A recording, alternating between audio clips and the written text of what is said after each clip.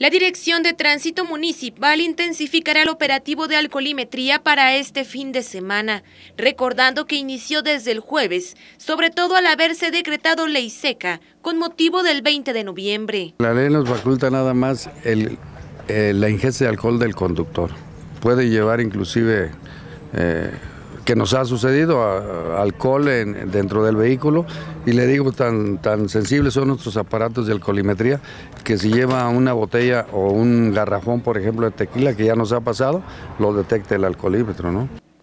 El director de Tránsito Municipal, José de Jesús Rodríguez Benavides, precisó que serán dos puntos fijos, más dos células ambulatorias los que permitirán detectar más fácilmente a los conductores que conduzcan bajo los influjos del alcohol. Hacemos hasta tres pruebas, que hacemos la pasiva, que es la que nos indica si lleva alcohol o no, y luego la cuantitativa, que ya nos dice cuánta cantidad de alcohol lleva, que ya cuando bajamos al conductor lo, canalizamos hacia la célula de médicos y ahí ya se le aplica la cuantitativa.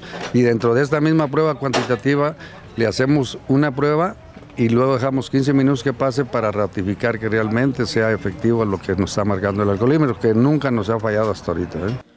El teniente Benavides aseguró que de aquí en adelante el operativo se intensificará con motivo de la época decembrina y sobre todo por el maratón Guadalupe Reyes, con las imágenes de Jesús Hernández para mi ciudad, Claudia Cárdenas.